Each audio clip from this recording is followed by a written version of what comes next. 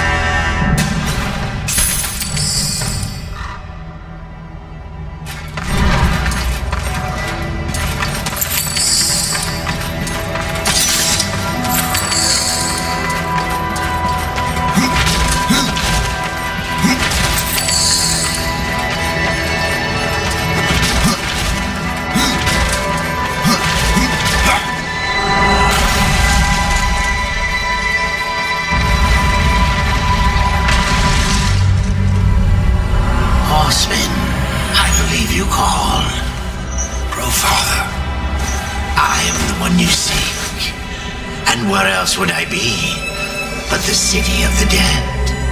Would you like to ask a question? Or just stand there like you've seen a ghost? Tell me how to reach the Well of Souls. The Well of Souls is a place of unimaginable power. The key to life and death. Of creation itself. And that is why the well has a key of its own. One that was divided long ago. The angels keep one half, and the demons the other. And never shall the two meet. Unless you truly mean to save your brother. To save war, I would storm the White City. Of that I am more than certain. But there is no need. The angels have realms beyond the White City, as the demons do beyond their dark kingdom. All will become clear to you once you reach the tree. I've already done that, Crowfather. Nevertheless, you must find the tree again and go wherever it takes you. Absalom lives. Yes, Absalom lives on. His rage and agony spread as corruption, and he will unmake all of creation to destroy the balance. I killed Absalom once, Crowfather. If I could go back, I would see him spared. I doubt he would grant you the same courtesy. How can I restore humanity?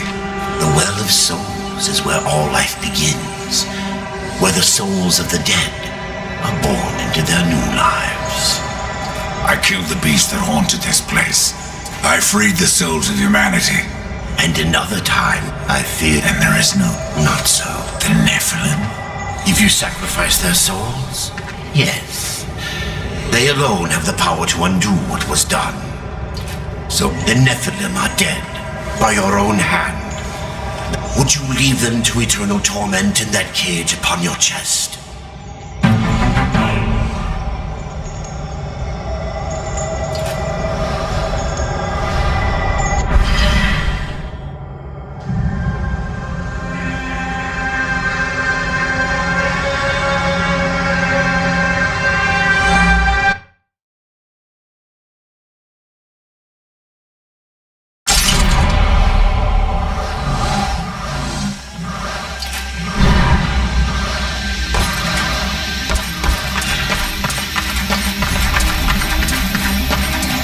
Not so fast, horseman. You're following me. So I am. I will remain here at the tree, should you have need of me on your quest. and dust has a beak for more than corpses, horseman. Follow him, and you will find the key. Follow dust, find the key. Can't be that easy, Crowfather. You may be right, Death. The future is a secret even I cannot keep.